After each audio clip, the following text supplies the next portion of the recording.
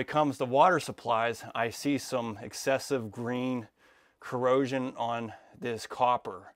So I would probably not want to leave that because it's probably very, the copper can start to be very thin in these areas.